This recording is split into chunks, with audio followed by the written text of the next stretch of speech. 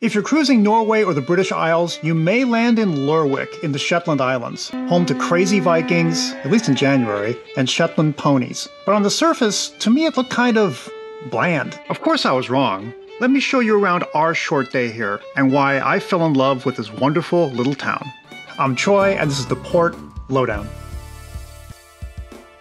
The Shetland Islands are just northeast of Scotland and the far north boundary of the UK. It's a small town with a matching small port, so you go by tender, parking pretty close to the pier. The ride is only a few minutes, docking at a pontoon pier adjacent to a smallish parking lot where the tour buses meet, as well as cabs. While some folks go for ship tours to the ponies, Scalloway, and outlining areas, many opt to simply stroll the town. Clean public toilets across the street, even sidewalks, not too cobblestony. Lots of ATMs. A great tourist info office. There's a lot to explore if you choose. Charming stores. Cowboy costumes? Like this awesome soap store, staffed by kids with learning disabilities. Shomo. I like shomo.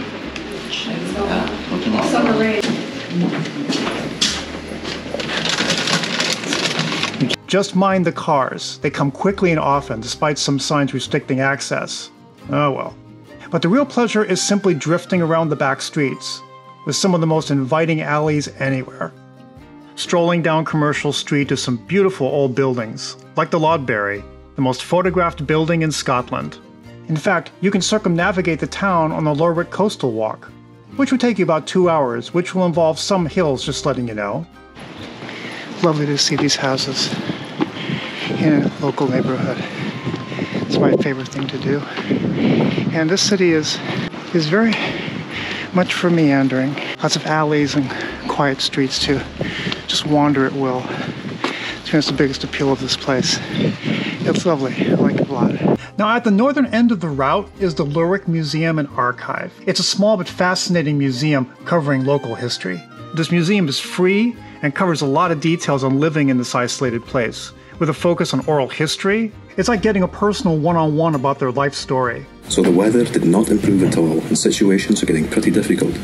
And she put the terrible sea and lifted the whole of the after lifeboat deck right away, both boats and lifeboat deck, and the whole lot over the side.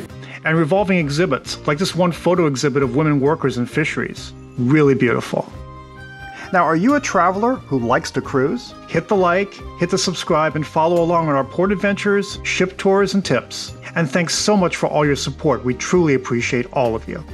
Now, we heard good things about this cafe outside of town center, so we walked across town to the Ness of Sound and the Fjara Cafe in about 20 minutes. The cafe itself was as good as reported by other travelers, along with a beautiful view of the Ness, a huge burger, lots of sweets, and a particular meat patty called saucer meat, beef or lamb mixed with Shetland spices, a specialty.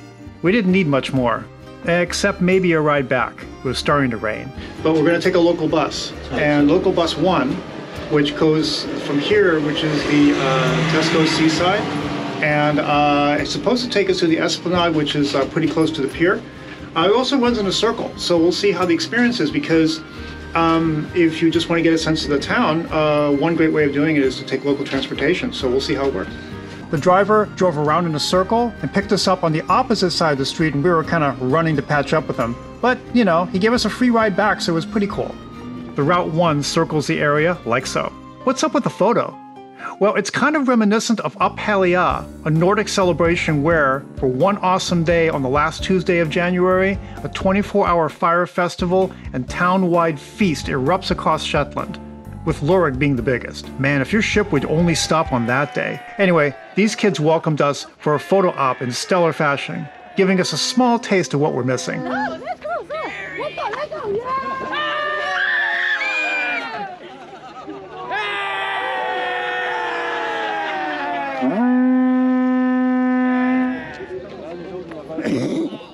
Who you? I'd do something to cheer me up. Don't come near us. Well, we loved it here. It's the charm, the music, the allure of the streets, the whole welcome wagon. You are most welcome here. Wander at will. Have you visited Lerwick? Any suggestions of what to do if we come back? Let us know in the comments.